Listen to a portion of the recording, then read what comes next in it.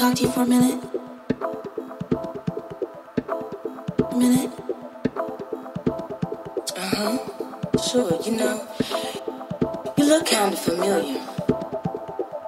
Yeah, you do too. You, you know. You know his name.